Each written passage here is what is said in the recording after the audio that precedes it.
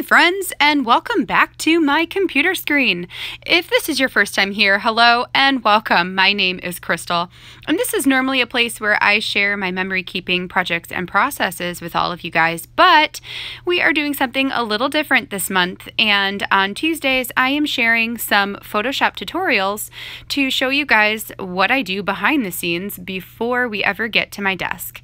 So today I am going to walk you guys through how I print my photos with white borders around the outside edges. So I have this photo pulled up right here and I already have it edited the way I want it to be. So what I'm going to do is go over and click on the crop tool on the left hand sidebar.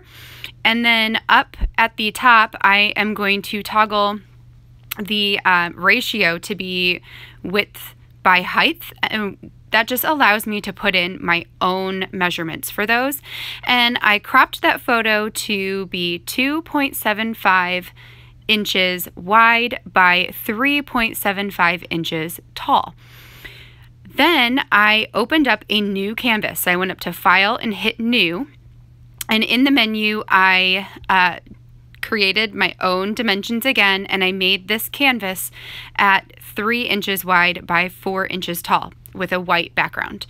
So now what I can do is I can go back to my photo, select all.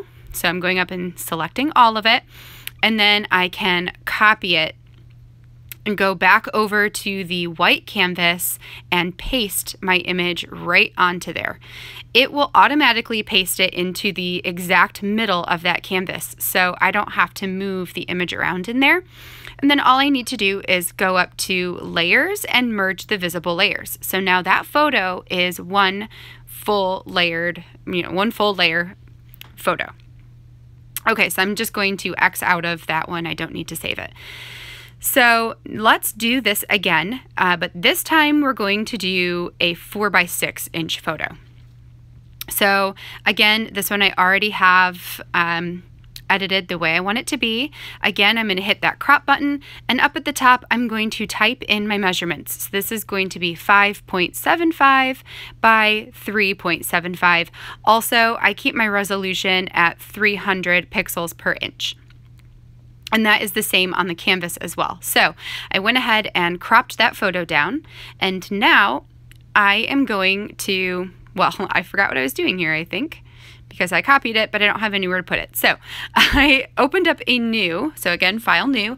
And then over here on the menu side, I am going to put my width as six inches wide by four inches tall. Again, 300 pixels per inch. Hit OK I have a white background and there is my canvas. So now I can paste that image directly onto the canvas. Again, it goes into the middle so I don't have to do anything with that.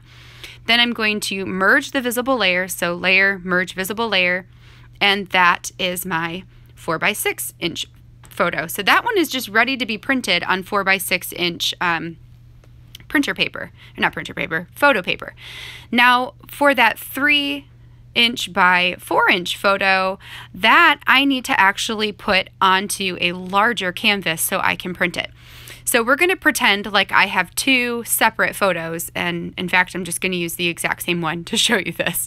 So I selected it all and I copied it, and then I pasted it on here. Now with the Move tool, which is the one that looks kind of like a, a compass or whatever that's called, it looks like arrows. I am going to move the photo all the way to the edge and then I'm going to paste, we're going to pretend that's a different photo even though it's the same, and I pasted that and moved it onto the opposite end of the photo. So now I can merge those layers if I want to and we are ready to print.